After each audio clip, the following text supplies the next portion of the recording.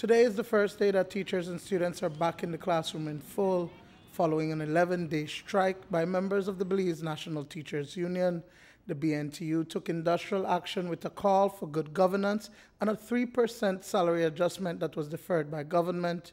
Across the cities, students and parents were happy that classes have resumed. Very good. Very good. thought it was necessary that they Yes. get back into the classroom? It's very, very necessary because this guy is very smart and he's asking what when the school will be open and he want to go back to school again every day. Okay. Now, um, are you concerned about how they're going to make up back for classes? Yeah, I want to be concerned how they're gonna make it up Talk on a microphone. and how the children gonna suffer after Christmas holiday. They will have to work hard and put the effort to it. So, what are the schools doing to make up for the loss of classes?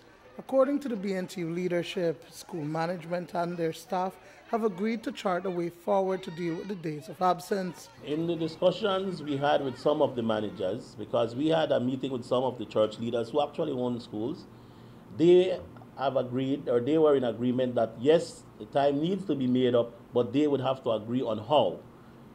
So they, along with those respective staff, would have to decide and agree on how that time would be made up, because they would really want it to be made up in a meaningful way.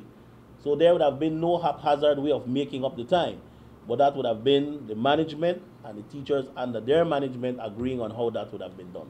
So, will the government participate in the process?